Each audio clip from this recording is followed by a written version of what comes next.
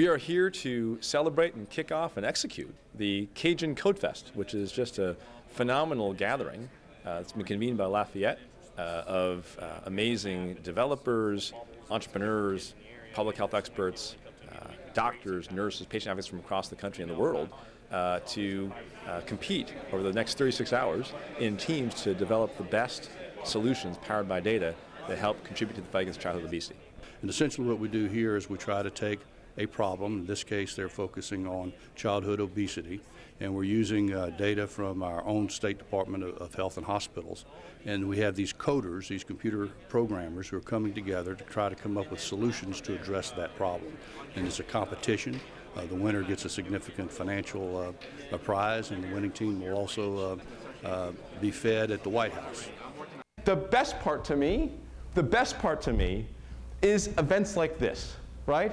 Because basically, you came out of nowhere as far as I'm concerned, right? I mean, I love Bruce. I came down to hang out with Bruce and his team. There's so much awesomeness happening, by the way, here in Louisiana. It's a real model for the country in so many respects, including this one, but many other respects as well. Uh, I talked about health data liberacion, right? Zach started saying liberacion. Ramesh, I got him and said, we're going to do a code fest in Lafayette. I said, that's fantastic right? I wasn't sure what happened next. Next thing I know, Ramesh calls and says, there are 300 people convening in Lafayette with the support of the entire community and an arsenal of companies with huge amounts of data, not just from HHS, but from the state and other sources, to focus in an epic code fest on building solutions that can help contribute to the fight against child obesity. I said, what? this is fantastic. This is fantastic. And this is why I'm so optimistic about America right now. Why I'm so optimistic about our fight to solve our biggest challenges. Because there's, there's, only one thing I really learned as a private sector entrepreneur. And so I had, I had some success as a private sector entrepreneur. My company, Athena Health, went public for a billion dollars. It's now worth 2.7 billion. Of course, I've divested. When you join the US government, you have to sell everything. You can't own anything, anything anymore, so I'm fully divested. Um, Castlight Health was actually, uh, the second company I co-founded was named by the Wall Street Journal as the number one venture-backed company in America, uh, 2011. Uh, HealthPoint, services company in India, was named by India as the top social innovation in the health space uh, last year. Actually, both HealthPoint and Athena Health were named by MIT recently as two of the top 50 most innovative companies in the world. And there is one reason why that's true, why all that success happened. It's not me, okay? It's definitely not me. It's that I understood one rule, which is the following. If you get the best people, you win. If you don't, it becomes much more difficult, right? The same thing is true of ecosystems. The same thing is true of ecosystems. If we can attract the best people on the planet to help us solve our problems, there's no problem America can't invent its way out of. No problem we can't invent our way out of. And that is what I'm so excited about, because this represents that principle in action. We're attracting the best people in the world to care about the problem of child obesity and come up with some breakthrough, some beginning of a breakthrough that can make a big difference in the fight.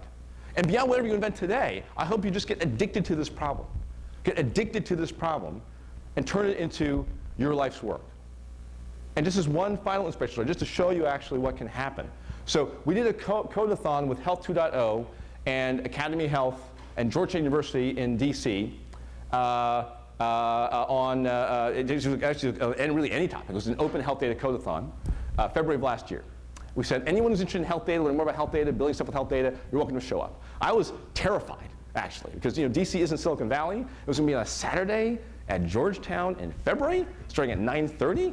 I was thinking to myself, well, who's going to show up? Like developers normally don't get up until noon, right? Who's going to actually show up? Like, thank God all you guys showed up. Fantastic. Thank you so much. And 150 people showed up. I don't know how the hell this happened, right? Including five kids from Pittsburgh, Pennsylvania. I don't know how the heck they heard about this, but they, they heard about the codeathon about health data at Georgetown in DC, and they got inspired.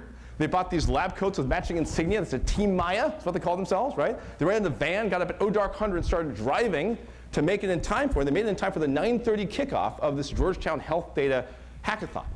They knew nothing about health and healthcare, nothing. They just wanted to make a difference. So uh, they scrubbed into the data and they learned about this phenomenon called food deserts, right? Which if you look at USDA data, you can see big swaths of America uh, where if you live in that area, you do not have access to affordable, healthy food. I don't care how good the doctors are in that area. I don't care how good the hospitals are in the area. That area is going to have a lot of problems when it comes to health. There are entire public health symposia about food deserts. There's endless academic literature about this problem. These kids had not read any of that. They had not gotten the memo about what's impossible yet. So they decided to solve the food desert problem in eight hours. And what they did is they built this, built this brilliant app, had the idea, built the app in eight hours called Food Oasis, a brilliant mashup of text messaging farmers markets. So it turns out that virtually every American, including most Americans in low-income neighborhoods, have access to text messaging. So what they did was they said, okay, you can use the Food Oasis app via text messaging to text in the fact that you want to buy five zucchini and 10 tomatoes. That goes to a central website. Your neighbors can do the same. Then a network of food suppliers, food co-ops, farmers markets look at the website and circle the orders you want to fulfill and hit fulfill and text everyone back and says, I will show up at St. John's Church from 1 to 5 p.m. this Saturday with your food. Kind of like a flash farmers market, right, on a regular basis.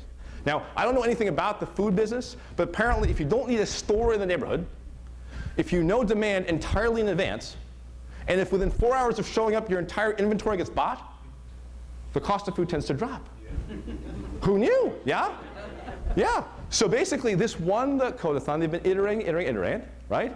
And actually, it turns out that while these kids don't know anything about health and healthcare, they're experts in something called supply chain management and consumer experience design right? Maya is a IDEO-like company that does this kind of work in the Midwest. I went to visit their headquarters. The kids have an entire room. It's one giant whiteboard where they've mapped out in detail how they're going to systematically pressure test each component of their service and refine it until it actually works.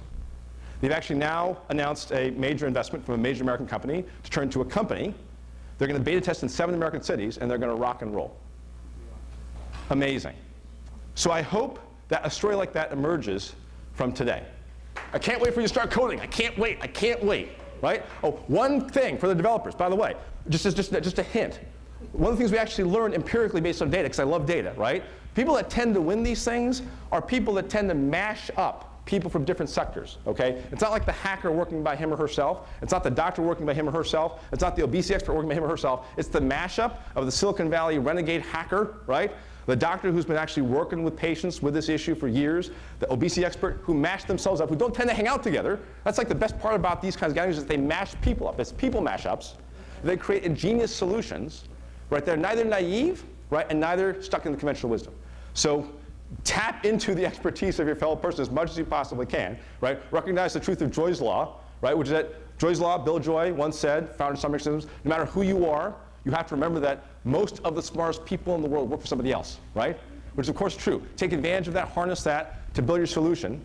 I look forward to taking that winning mashup team to the White House for lunch uh, or breakfast. And as you do this incredibly important work, this incredibly important work for which we're all so grateful, may the force be with you today and tomorrow. God bless you. God bless Lafayette, Louisiana, and the United States of America. Good luck. Thank you so much. We know that obesity and diabetes are incredibly intertwined. And we know that this is becoming the new norm. And it's very disturbing. I'm going to go through a little illustration here to show where we've been. If you just watch uh, the screen and you see it turn darker colors, that's the degree to which we have high rates of both obesity and diabetes. And you could see over time how it grows. And you could see where we are maybe right in the middle of what we call the diabetes belt, and you can see it develop over time. The only state in a worse position than us, is anyone here from Mississippi? All right, well, Mississippi is the only state that beats us on this. And over time, you're seeing how it's not just a Louisiana problem, although we're a national leader in it. It's a problem for the United States.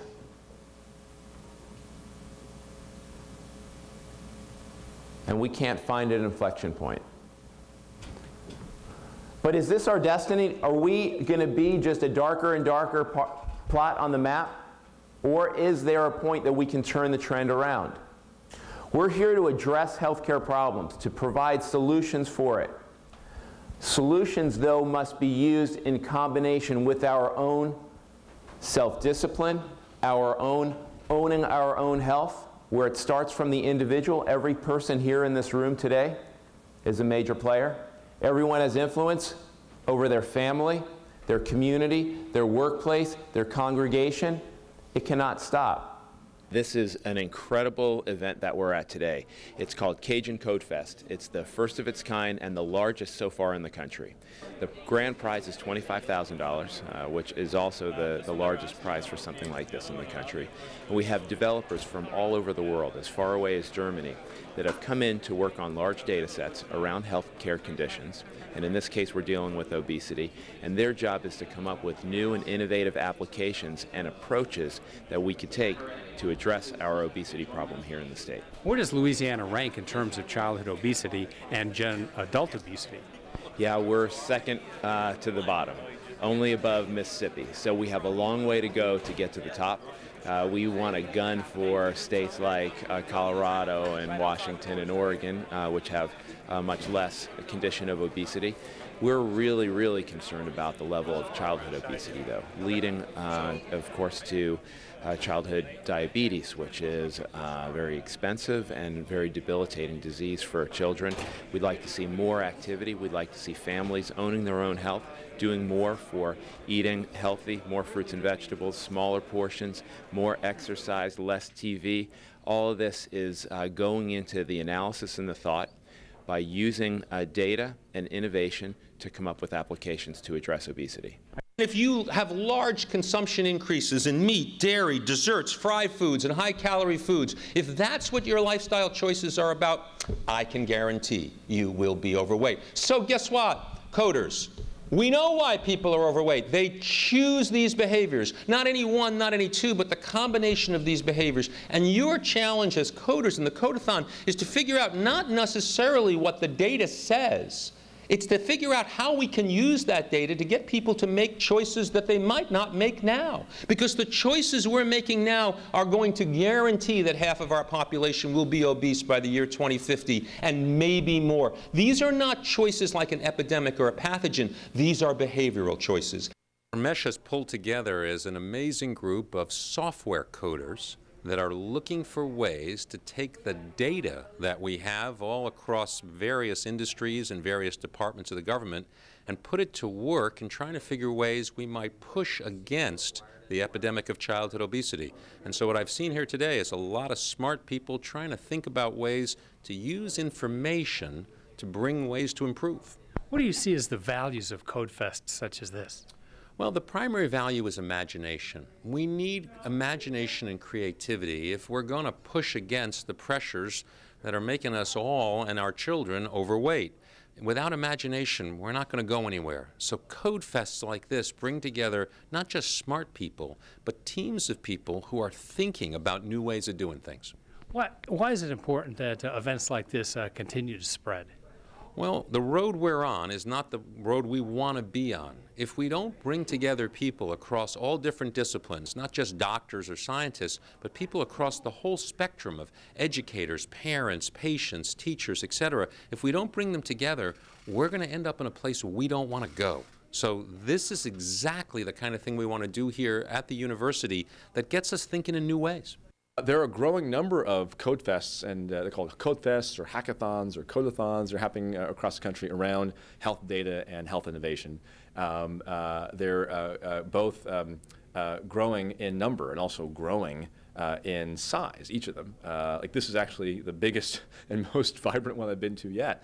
Uh, and what's happening is that we're seeing these codathons produce just incredible solutions um, incredibly creative solutions. I think the key is, is that they bring together people that don't normally tend to hang out, right? So uh, tech hackers don't tend to hang out with doctors, right? Public health people don't tend to hang out with entrepreneurs. But when you mash them up together, right, and team them up, the joining of the brains and the hearts and the souls produces all kinds of incredibly creative thinking, right? That's neither naive nor steeped in conventional wisdom, right? It's, it's this magical kind of confluence of expertise and ideas that produces just out of the box actions, out of the box new uh, services and applications that can really make a difference. So I was actually describing in my talk earlier today uh, a um, app called Food Oasis uh, that came out of a hackathon that Georgetown University did uh, about a year ago. Uh, and what happened was um, it was actually a, just a generic health data codathon where people could just scrub in the health data and build whatever they wanted to.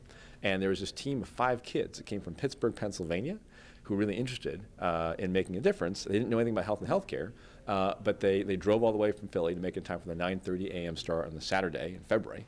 Uh, at this uh, Georgetown uh, Codathon. And they, they looked at a bunch of our data and they, they, they learned about this phenomenon called food deserts, which is um, basically the phenomenon that uh, there are a bunch of areas across the country where if you live in one of those areas, you don't have access to affordable, healthy food, which is a real problem.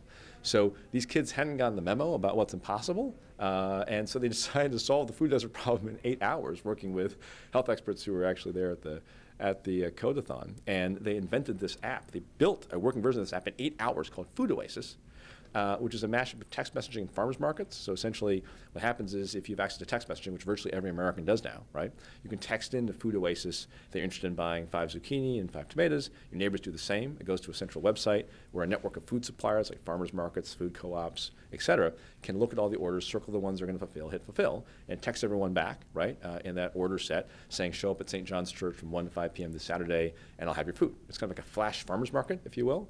It kind of forms like on the spot. And because you don't need physical stores, and because you, you as a food supplier know demand entirely in advance, right? And because within four hours of you showing up, all your food gets bought completely, right? Um, it, it, drops the cost of food by a ton, right? So this this team of kids, uh, who actually it turns out are experts in supply chain management and consumer experience design, which uh, healthcare needs a lot more of, right? Uh, they've now actually gotten funding from a, a big American company, uh, turned it into a real company, uh, and uh, are beta testing it in uh, several American cities. It's very exciting, you know. And so, um, so my, my great hope is that there'll be a similar story or stories that come out of the Cajun Code Fest, right, where uh, there'll, there'll be a winning team or teams that even if they don't win, produce something amazing, right? They turn into companies right here in Lafayette, right, that can both help contribute to the fight against child obesity nationally uh, and also create jobs, great jobs here in Louisiana, here in Lafayette at the same time. What's your reaction to everything that you've seen here today? I'm stunned. this is my first time to Lafayette, and Lafayette is the place to be. I think the hottest spot at this second to be, if you're interested in healthcare, health improvement, data, tech, innovation, entrepreneurship, is Lafayette, Louisiana. I could not be more excited to be here. Speechless, fabulous. Uh, we are just beginning to get started, as a matter of fact, but what an incredible way to start the first Cajun Code Fest. I mean, we have the Chief Technology Officer of the United States and folks from across the world that have come here. A guy from Germany who joined a team here uh, because he wants to uh, be part of a team that wins the cash prize, but more importantly, he wants to start a technology company in Louisiana based on his idea. And he's just one of the many. We have 116, 118 uh, members in, in teams that are going to be competing over the next 24 hours. They're going to be producing products and maybe, just maybe, the most innovative solution that we need as a society to address the issue of childhood obesity. So we're thrilled. We couldn't have, we couldn't have asked for a better start. And uh, with the Chief Technology Officer of the United States and the Secretary of the uh, uh, Todd Park and Bruce Greenstein, the Secretary of the Department of Health and Hospitals, setting the stage with some of the best minds in the nation, with Jay Walker from TEDMED, Sean Nolan from Microsoft, Jared Kaiser from Intel, and Derek Scott from AT&T, painting their vision, painting a picture, and now the rest of the teams, 115 to 200 folks, are going to work to produce the next best innovation that may have the answer to what we are all looking for, which is solutions, innovative solutions to child obesity that we face as a civilization. There certainly is a lot of energy and creativity and, and uh, innovation and a lot of excitement, and it really is a, an enthusiastic uh, environment, and it was really exciting to come in here this morning.